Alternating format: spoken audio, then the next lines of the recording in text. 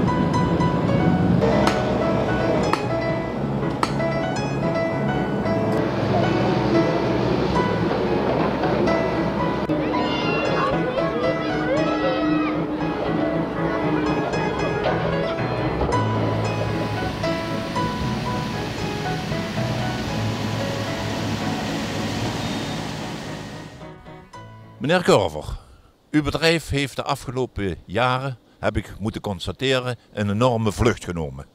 Waar wijt u dit aan? Dit wijten wij aan het uh, succes binnen ons familiebedrijf. Dat de groei heeft mogen doormaken als gevolg van het wegvallen van verschillende collega-bedrijven. Waar of geen opvolging is, waar frauderingen zich hebben afgespeeld. Daar hebben we de afgelopen jaren voldoende over in de krant kunnen lezen. En daarnaast denk ik ook dat het naam en faam van de familie Curvers hier in de regio nu zijn part begint te spelen. Um, mensen weten ons te vinden. We bieden een breed pakket aan. We zijn een jaar of vier geleden zijn we ook begonnen met het aanbieden van asfaltwerkzaamheden. Zodat we van A tot Z een project geheel in eigen regie kunnen uitvoeren. Uh, hoe, is, uh, hoe is het bedrijf ontstaan? Het bedrijf is ontstaan aan de Daalsweg. Daar is uh, opa van mij begonnen met het delven van kalk in kalkovens. in de loop der tijd is het van het maken van kalk overgegaan naar ruilverkaveling. Opa ging ook meer in het verhuren van machines werken. En zijn zoon en mijn vader, die liep in die tijd stage onder meer bij de gemeente. En die zag dat de gemeente meer betaalde voor de rekening dan dat opa eh, de bulldozer kon verhuren. En zei tegen opa, misschien kunnen we beter rechtstreeks ook het werk gaan uitvoeren. Oh, dat is een goed zakelijk ingezicht. Weet u überhaupt dat de roots van de familie Curver hier in Schaarsberg liggen? Dat klopt. Ja. Dat klopt, ja.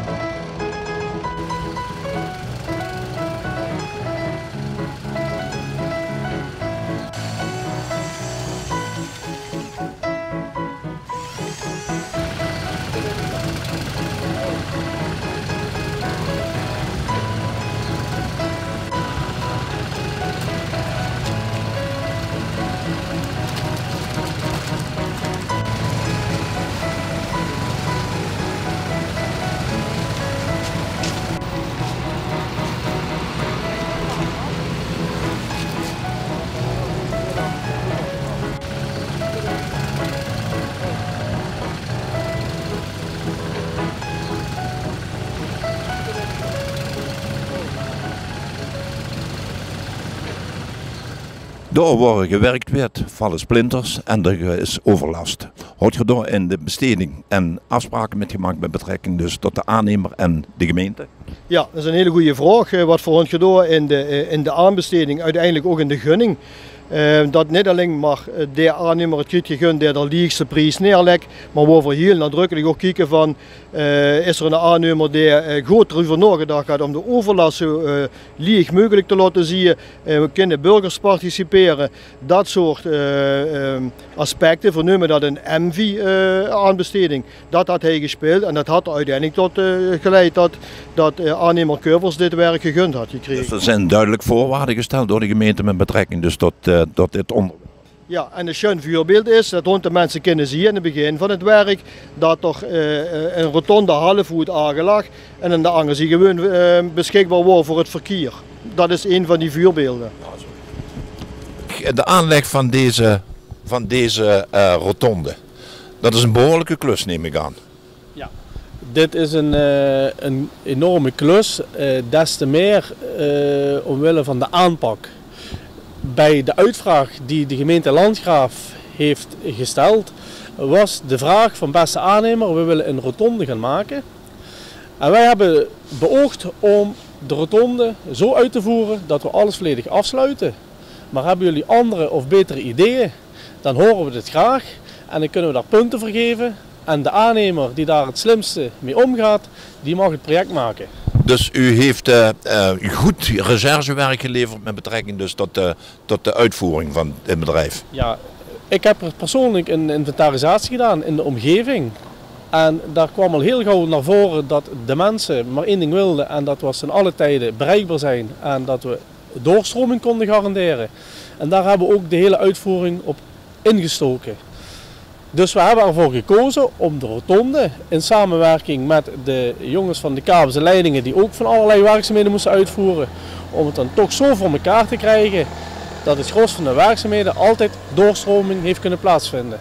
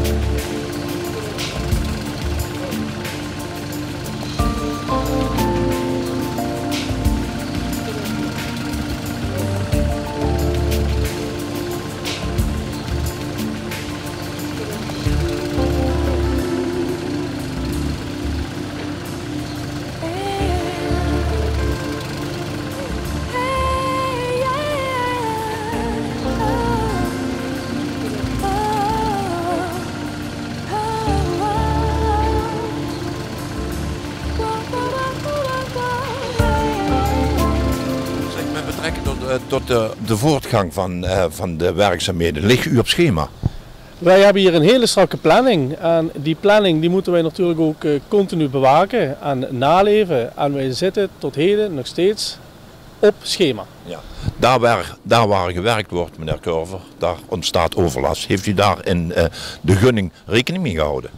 Uiteraard. Um, wij hebben als aannemer hebben wij een omgevingsmanager ingezet. Die meneer die is eigenlijk voor de omgeving hier 24 uur aanspreekbaar. En die vangt heel veel klachten en vragen vangt hij voor ons af. Zodat wij ons kunnen focussen op de uitvoering. En dat die meneer zich kan focussen op de klachten en wensen van de omgeving. En dan rijst natuurlijk bij ons de vraag, worden de klachten en de wensen van de mensen ook uh, behandeld en zo niet afgewikkeld? Nou, die meneer die houdt daar een uh, klachten- en meldingenregister van bij. Dat wordt wekelijks wordt dat aan de opdrachtgever, de gemeente Landgraaf, wordt dat verstrekt. Waarbij men precies in kan volgen welke klachten zijn binnengekomen en op wat termijn is afgehandeld. Ja, volgens de hulpuitvoerders die regelmatig hier langs de afrastering staan, uh, pakt u de zaak nogal rationeel aan. Klopt dat? Nou, dat vind ik eh, fijn om te horen. Uh, wij vinden met name in een omgeving zoals we hier zitten te werken, waarbij uh, ook gelukkig veel belangstelling vanuit de omgeving is, vinden wij ook dat we die mensen serieus moeten nemen. En nog veel belangrijker, die mensen weten ook precies wat zich er hier in de omgeving afspeelt.